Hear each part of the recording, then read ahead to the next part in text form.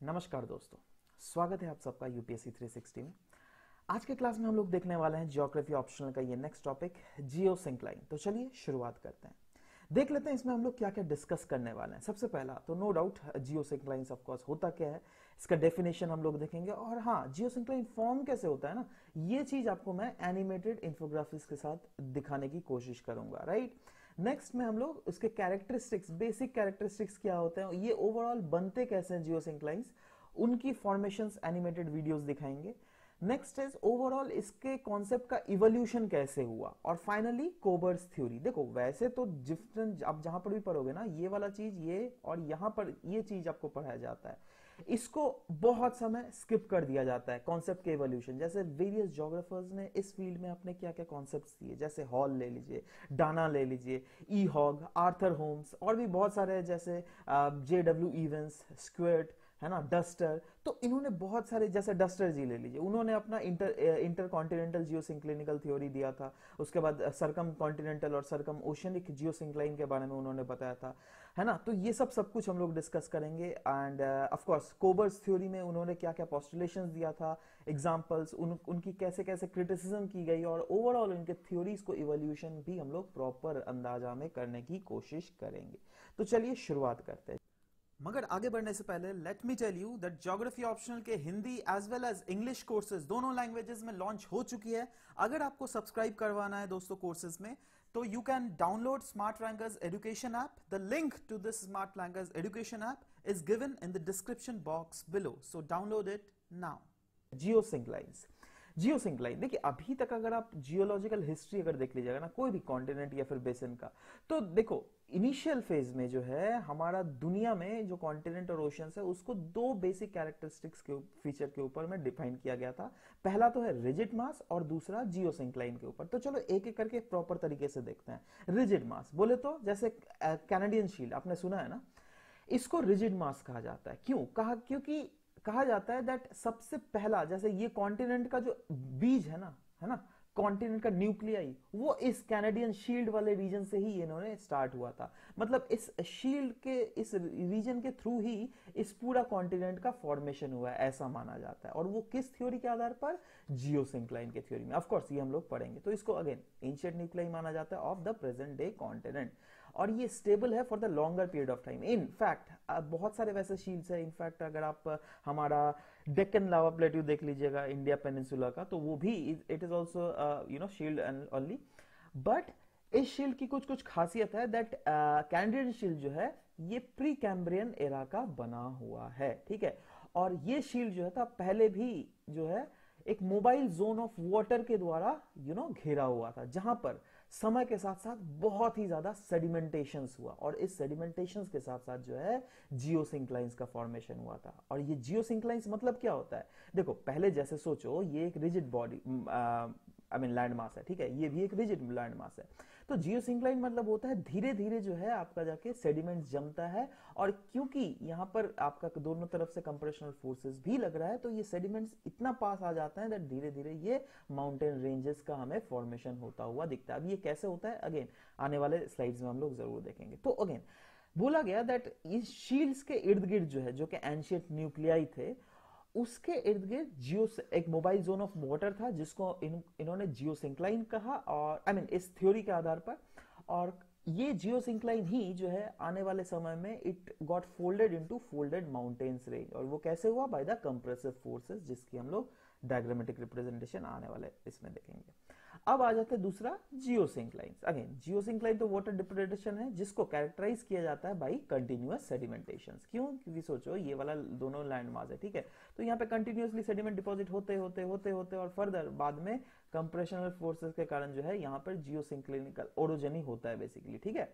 जिसके कारण of course mountain ranges form होता है. तो ये जो कॉन्सेप्ट था ना जियो सिंक्लाइन का तब के जियोलॉजिस्ट तब के जोग्राफर्स के द्वारा ये बिल्कुल कंसेंसस बन गया था दैट हाँ भैया, जो भी माउंटेन्स आए थे they came out of geosyncline और रॉक्स जो मिले हैं माउंटेन्स में, है ना? तो of course they were early sediments only तो दे वेर सम और the other deposited and later on consolidated in sinking seas जिसको हम लोग जियो सिंक्लाइन कहते हैं। मतलब रॉक्स इन द माउंटेन्स बोला गया या फिर rocks in the rigid mass जो भी बोलिए, है ना? दैट इज़ ये वाला जो हम लोगों ने थ्योरी लिया, ठीक है? दैट दो रिजिड मास के बीच में अगर जियो सिंक्लाइन बढ़ता है तो यहाँ पर जो रॉक्स है, वो या फिर सेडिमेंट्स है, वो अल्टीमेटली धीरे धीरे इधर डिपॉजिट होते गए। आप ये कैसे सेडिमेंट्स डिपॉजिट होते गए? By the action of fluvial erosion by the action of aeolian erosion ठीक है? तो ये सब कैरेक्टरिस्टिक्स है, जिसके कारण धीरे धीरे जो है, आपका you know mountain ranges form होते गए। और माउंटेन्स की अगर हाइट देखिएगा माउंटेन्स की अगर थिकनेस देखिएगा जो भी सेडिमेंट्स जो कि हमें मिलता है in young found young folded mountain जैसे rocks Andes Rockies Andes Himalaya है ना? तो यहाँ पे जितने भी सारे सेडिमेंट्स आपको मिलते हैं वो आपको ज़रूर यू you नो know, इस चीज़ का प्रूफ भी देंगे ठीक है? इनफैक्ट एक चीज़ जो पहले बोला गया था, वो ये था दैट जियो सिंक्लाइन जो है, वो वेरी डीप वाटर बॉडीज में फॉर्म होता है। बट क्या ये सही है? नहीं। देखिए एक्चुअली जियो सिंक्लाइन में जितने भी सारे आपको जो ये जियो सिंक्लाइन फॉर्मेशन होता है, या फिर जियो सिंक्लाइन के थ्रू जो आपका माउंटेन रेंजेस का फॉर्म होता है, उसको जब स्टडी किया गया ना तो उसमें पाए गए बहुत सारे मरीन फॉसिल्स और वो मरीन फॉसिल्स पाए गए दैट अरे भैया, ये तो मरीन ऑर्गेनिज्म सिर्फ़ शैलो सी में ही रह सकते हैं, ये डीप सी में तो रह नहीं सकते हैं। इसका मतलब बोला गया दैट भैया जियो सिंक्लाइन जो होगा ना, ये ज़रूर सैलो वाटर बॉडीज में ही फॉर्म हुआ होगा। और क्यों? सैलो वाटर बॉडीज का जो है ग्रेजुअल सेडिमेंटेशन के साथ साथ, धीरे धीरे धीरे धीरे सेडिमेंटेशन जमा होगा और बाद में कंप्रेसिव फोर्सेस के कारण जो है इस टाइप के माउंटेन रेंजेस का हमें फॉर्मेशन होता हुआ दिखा रहा है। ठीक है, अब इसका एनिमेटेड व्यू देखते हैं। देखो, मान लो दैट ये एक लैंड एरिया जहाँ पर ये इसका मीन सी लेवल है, ठीक है? अब देखो, क्या हुआ? इस रीजन से, है ना? ये जो है रिजिड लैंड मास और ये भी रिजिड लैंड मास है तो यहाँ पे क्या होगा ना दैट नदियाँ भी बहुत बहेंगी, ठीक है? तो नदियाँ या फिर फ्लूवियल इरोजन के थ्रू जो है अल्टीमेटली ये सेडिमेंट जो है गिर के नीचे आ जाएँगे और ये एक अलग धीरे धीरे लेयर्स का फॉर्मेशन करते हुए रहेंगे। तो चलो, पहले इस लेयर को हम मान लेते हैं। लेयर वन ठीक है? ये जब धीरे धीरे इधर से भी सेडिमेंटेशन आया धीरे धीरे इधर से भी सेडिमेंटेशन आया तो एक अलग सा लेयर आया, ठीक है? ये ऊपर वाला लेयर देख रहे हैं? ये अब, ये लेकिन ग्रेजुअल प्रोसेस है धीरे धीरे बढ़ रहा है, बढ़ रहा है, बढ़ रहा है, बढ़ रहा है, बढ़ रहा है, ये लेवल में आ गया, ठीक है? तो और भी सेडिमेंटेशन आया, ऐसे ही धीरे धीरे ठीक है? तो ये लेवल जो है, बहुत ज़्यादा सेडिमेंट्स यहाँ पे जमा हो गया। ध्यान दीजिएगा, अब मैं क्या बोल रहा हूँ यहाँ पर? पहले जो कम सेडिमेंट्स था, अभी बहुत ज़्यादा सेडिमेंट जमा हो गया। अब इतना अगर आपके सिर पे अगर सोचो, बहुत, एक किलो का एक बुक मैं रखूँ, ठीक है? और उसी समय आपके सिर के ऊपर मैं सौ किलो का बुक रखूँ तो सौ किलो का बुक के भार में आप बैठ जाओगे नीचे, है ना? वही चीज़ इनके भी साथ होता है, क्योंकि इतना ज़्यादा ऊपर से लोड आ जाता है ना तो ये जो है और भी लोड के कारण इसका लेवल और भी नीचे हो जाता है। सब्सिडेंस हमें देखने को मिलता है, समझ रहे हो? मतलब पहले जो ये वन लेवल था, ये घट के जो है नीचे आ जाता है, यहाँ पर आ जाता है न्यू वन लेवल समझ रहे हो बात? है ना? मतलब और ये ग्रेजुअल प्रोसेस होता रहता है। मतलब धीरे धीरे ऊपर भी भागता है, धीरे धीरे नीचे भी इसका ओवरऑल जो है डेप्थ नीचे आते रहता है। समझ रहे हो बात? और ये फर्दर फर्दर क्या होता है? इसको मैं मिटा दूँगा तो ऑटोमेटिकली आपको समझ में आएगा। रुकिए।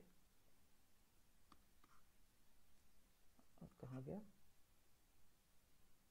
हाँ। एक सेकंड हाँ। तो तो छोड़िए उसको, जाने दीजिए। हाँ तो अच्छा मिटा ही देता हूँ तो ज़्यादा सही रहेगा। ओके। तो देखो, क्या हुआ ना दैट ये तो प्रोसेस आप समझ गए कैसे हुआ। अब क्या होता है दैट कंप्रेशनल फोर्सेस भी लगने लगते हैं अर्थ में, है ना? तो उस कंप्रेशनल फोर्सेस के कारण ये और भी सिकुड़ता है, और भी पास में आता है दोनों लैंड ठीक है?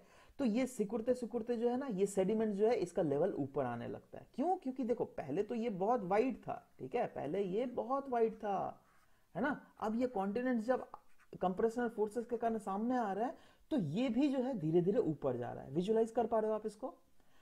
और भी ये ऊपर जाएगा, जब और भी कंप्रेशन फोर्स लगेगा, जब और भी ये नज़दीक आएगा, ठीक है?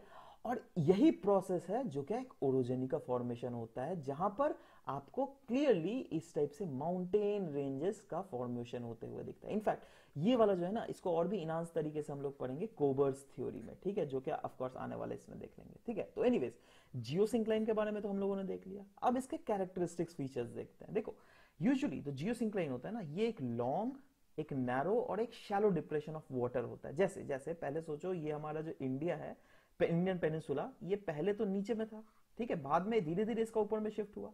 तो उस समय जब ये यहाँ पर था, ठीक है, तब जो है मेनलैंड एशिया और इस इंडियन पेनिसुला के बीच में जो रीजन था ना, यहाँ पर लेकिन डेथ स्थित था, ठीक है। मतलब यहाँ पर एक डिप्रेशन बन रहा था धीरे धीरे ठीक है। और उस डिप्रेशन में ग्रेजुअली धीरे धीरे सब सेडिमेंटेशन हुआ और उसके बाद सबसिस्टेंस भी हुआ। सबसिस्टेंस जो हम लोगों ने बोला ना दैट ये जब लेवल तो नीचे गिर जाता है due to excessive load of sediments है ना, वो चीज़ होने लग गया, ठीक है।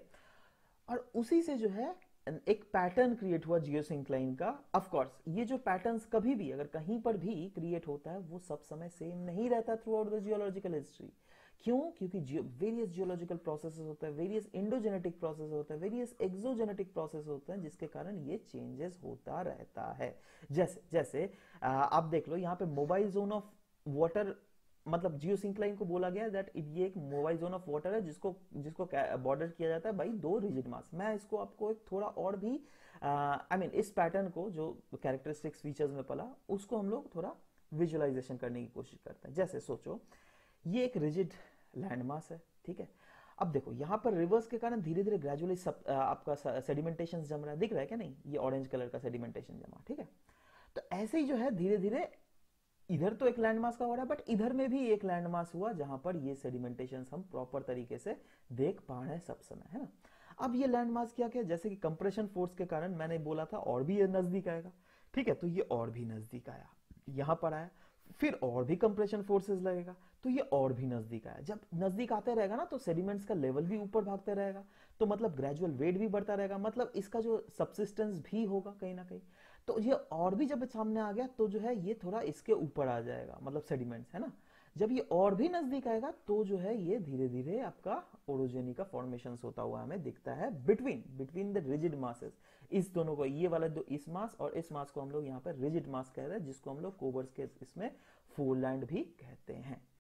And guys this the end of this part अगर आपको नेक्स्ट पार्ट एक्सेस करना है तो you can download Smart Rankers education app The link to Smartrankers Education app is given in the description box below. Thank you.